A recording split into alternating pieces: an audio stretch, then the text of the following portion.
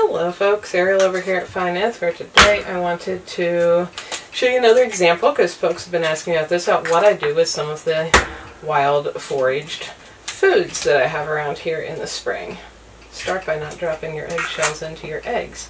Um, this could be a breakfast. I'm not a big breakfast fan so I would make this more as a brunch personally. But I am going to start out with eggs here.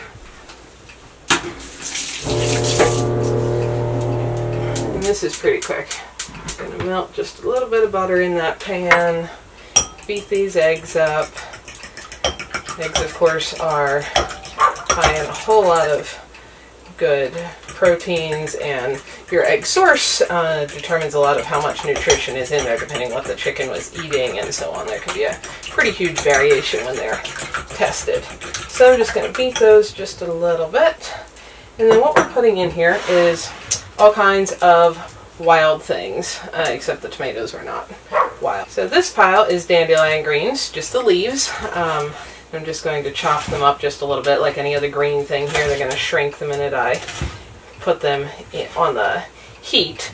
But the dandelion leaves are best when they're fairly young and fresh plants. They're a little more tender and a little less bitter in the spring than they will be later on in the year. You can still eat them. The whole dandelion plant is edible. Roots, flowers, leaves, but they uh, they just get a little more of a strong, tougher, bitter taste as they get older, like a lot of other things. Um, so we're just going to put those in there. This, well, I can put my tomatoes in. There's just a few cherry tomatoes I cut in half that I had left from something else. Um, this pile is nettle, so I do not want to touch this actually with my hands. I used gloves when I picked it, just like when I made tea. Um, I'm not going to use the very bottom end there where the stems are a little thicker. And because I don't want to touch it till it's cooked, because if you are not familiar with nettle, it's, uh, it's called stinging nettle for a reason. If you touch it with your bare skin while it is raw, it will um, give you a very unpleasant stinging sensation for a while. That goes away once it is cooked. So putting that in there, and then what I have right here are, there's only two actually, but morel mushrooms. I wasn't even mushroom hunting yesterday. I was actually just going for a walk with Burley, but I found two, so I'm going to put them in here.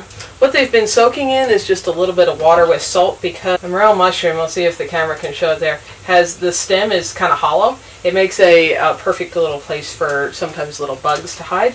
So if you soak it in a little salt water, um, that, that will kill or um, get rid of any little bugs that may have decided to just crawl up in there as a hiding spot.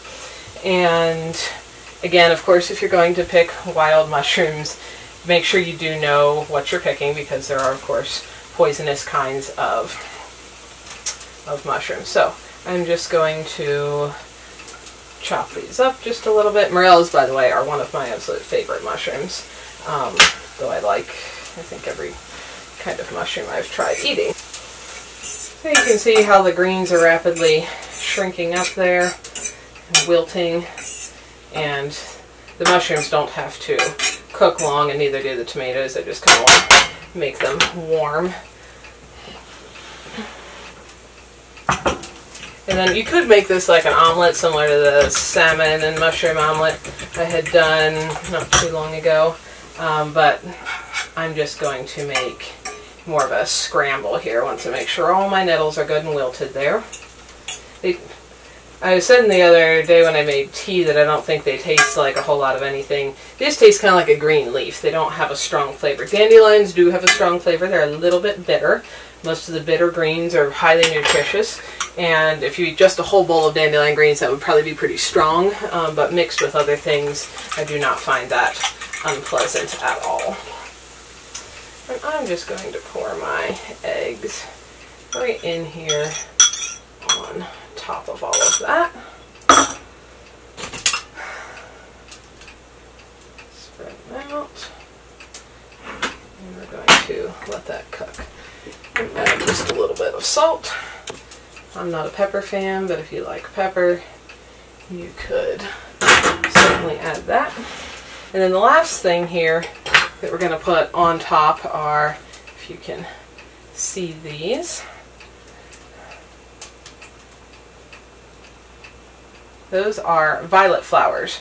Now some are violet colored and some are yellow. Both grow wild here in my yard, which is where these were picked from, and are also edible.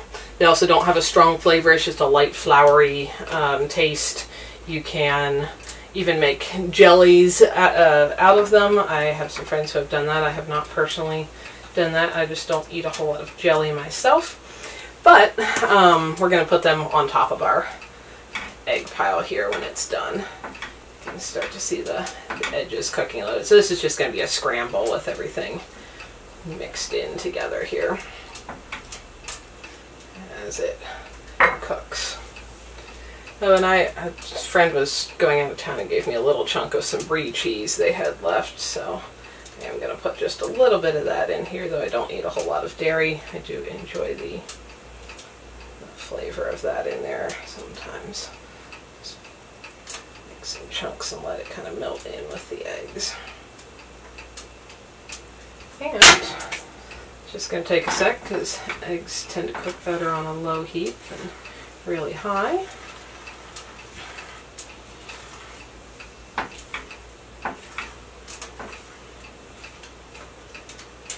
And that's going to be done really shortly. Let me grab a plate to put that on.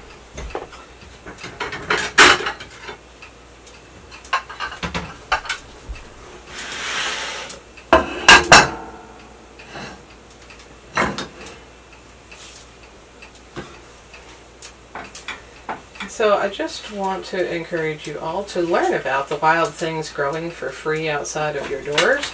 And instead of spending time and money to poison them, um, use them for something useful. There's actually a great website I found the other day called eattheinvaders.com, I believe, um, that even describes useful things to do with some very invasive weeds that we don't necessarily want, but why not eat them instead of uh, just poisoning them. I thought it was a really creative name. You might enjoy checking that out. And here we go. I can tell our eggs are almost done. It's kind of a pretty scramble. Second, I'm going to take that off the heat.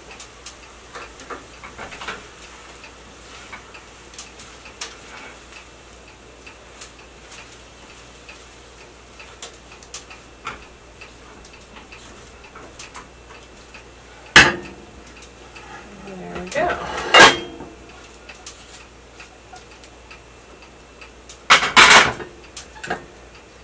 And it's already pretty with the green and red and brown mushrooms in there. And now we're just going to serve our violet and yellow violet flowers on top. And here is what our meal looks like. Hi folks, Ariel over here. Thanks for spending some of your valuable time watching these videos. Hopefully you found something beautiful, educational, interesting, peaceful, relaxing, or useful while you are here. If so, find more videos here, subscribe so you don't miss any updates, and if you like what you found here, feel free to like and share away so that others can benefit as well. You all have a wonderful day.